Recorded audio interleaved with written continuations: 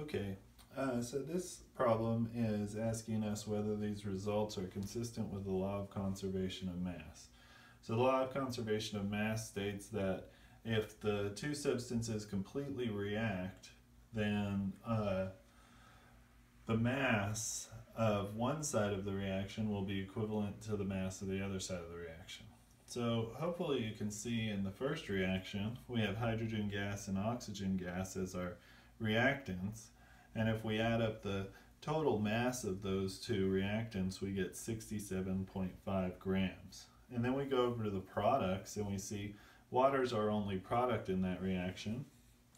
And it is also 67.5 grams. So since 67.5 grams equals 67.5 grams, we can say that that uh, example has uh, been consistent with the law of conservation of mass. On the other hand, uh, when we look at the next example, this one is not consistent because it says that gasoline here, here is completely reacting with oxygen, the 60.5 grams of gasoline with the 243 grams of oxygen, to give us only 206 grams of carbon dioxide and 88 grams of water.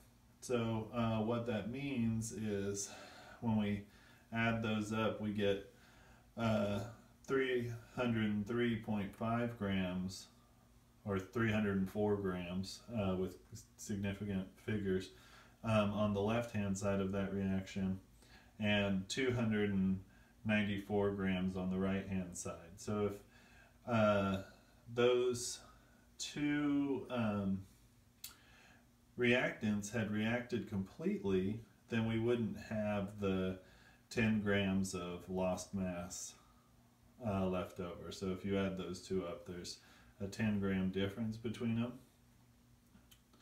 Uh, so that is not consistent. B is not consistent with the law of conservation of mass. Okay, thank you.